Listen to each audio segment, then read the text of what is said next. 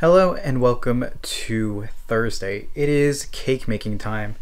Um, we're doing something a bit different for a cake, not the traditional, uh, like flour kind of cake that you're used to. We're doing a uh, special kind of cake. We got all the ingredients laid out for the base. It is a triple chocolate mousse cake.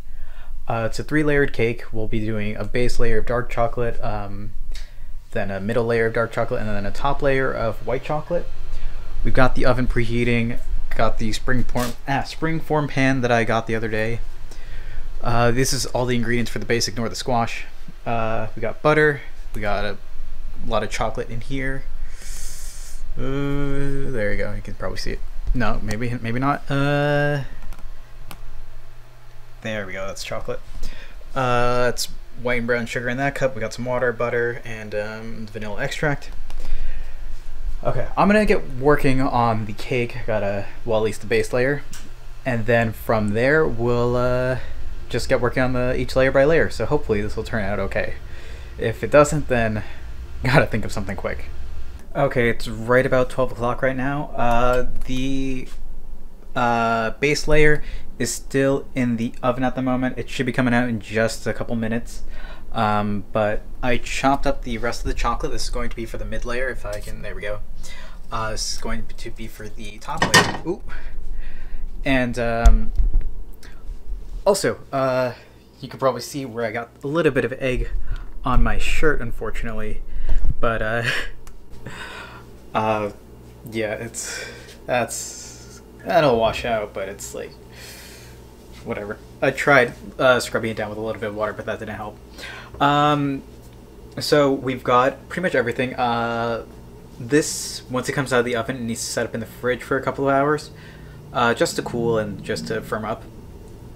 And that leads me to my next point. Uh, the recipe I'm using was written terribly, by the way, so I will probably do my own write-up and uh, see where we go from there at least an Americanized version of it because this is a British recipe and oh boy, it's it's could be done much better. Um, the reason I say that is because they separated the uh, amount of double cream. So for British recipes, they have something called double cream, which in Americanized terms is basically heavy whipping cream but like it's creamier, I guess. There's like a more butter content or something. Anyway, um, what they did is they said that you need 480 milliliters. This is 473, so close enough. Um, 7 milliliters, not going to make too much of a difference. And then on a separate line, a little bit before that, they said, oh, you also need uh, like 240 milliliters. And I'm like, reading the recipe now, I'm like, why didn't you specify this? I say this recipe is written badly in the sense that um, for the base layer they called for a little bit of a uh, teaspoon of vanilla to be added. It was in the ingredients list. It was not in the rest of the recipe at all. So, uh, and they had this again, this separated by. So I just need to figure out how much uh, heavy cream. So I need to go to the store as soon as this is done. Uh, where did I put my phone? I had it just seconds ago. Yep. I was gonna say, uh, my phone should be going off, uh, saying that uh, this should be done, and looks like it is.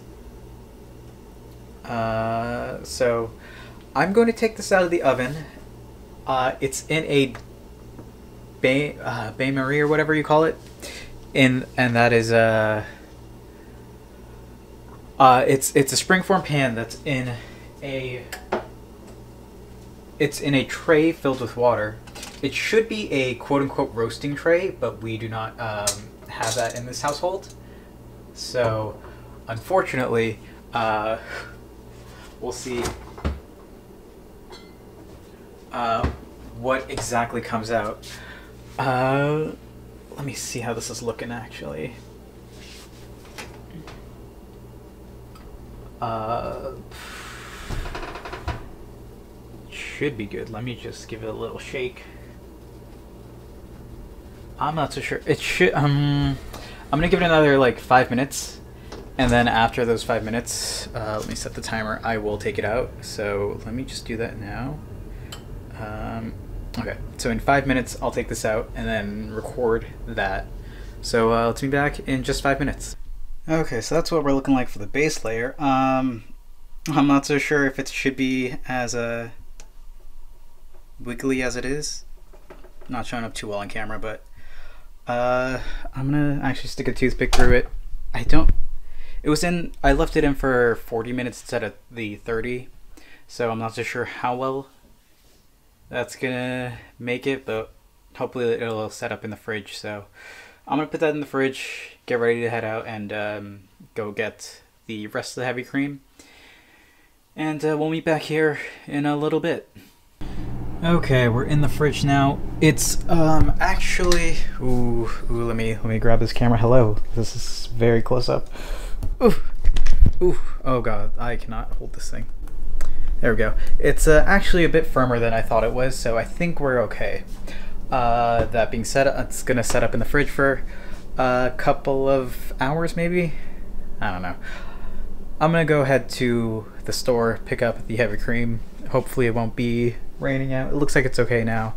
Um, we should be expecting some rain sometime soon.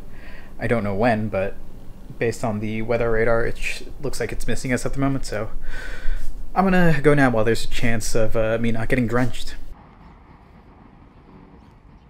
Okay, it's about 10 to 2, and we are looking good. It's pretty solid right now. Um, not much jiggle at all. And I can tap it pretty... Oh, well, shouldn't be too much of a problem. Um, I should close the fridge, but uh, I'm gonna toss this back in the fridge uh, and get started on the second layer. So we'll see how that goes. Okay, we're working on the second layer, almost done with it. Just need to spread it out and then put it back into the refrigerator to firm up. But uh, yeah, this is going pretty well so far. Uh, when I was um, so I needed to well, camera angle. I needed to uh, whip the uh, heavy cream and uh, kind of whipped it a bit too much. Ended up, it's at a soft peak, so I ended up with uh, butter as it's uh, com- more commonly known. But I think I may do. I need to. I used the uh, stand mixer, so that was the reason behind that. But hopefully, it'll be fine just the same. It looks okay uh, hopefully after this firms up in the fridge for just a little bit um, it'll be fine. And then uh, once I am done with that uh, it will um, well uh, then uh, when I add the white chocolate layer it should be good to go. We'll see how that turns out but uh, so far so good. Like I said I, I just need to whip the um, chocolate for well with the uh, heavy cream a little bit less or at least keep a better eye on it when I'm doing it in the um, stand mixer. So I'm gonna finish with this. I know lighting and camera angles are terrible for this shot but finish with this toss in the fridge and then we'll continue on uh, in just a little bit. Alright, the final layer has been applied, so I guess now we just uh, let this set up in the fridge and see where we're at. It's right about 5 o'clock, so you know, this will be done in a couple hours, but I guess we'll leave it overnight and see what happens. Okay, I think we're finally good with this, so I'm gonna put it in the fridge and then we'll find something to do. I think it came out pretty good. Like I said, this layer kind of messed up on, but otherwise it looks alright. Okay, rounding off the evening. It's uh, only 8.30, but I figured we'd call it a bit early today after the excitement of spending quite a bit of time baking that cake. And, uh, oh boy, I was. I spent like most of the day doing that. It, it didn't feel like it, but I guess only the first layer. The, the second two layers didn't really take as long. It's just uh, preparing them and then just letting them rest. I could have done better on the middle layer. If only I didn't make it like butter, but we'll see how it tastes tomorrow. For now, that's where I'm going to call it for today. Thank you all for watching. I hope to see to see you tomorrow.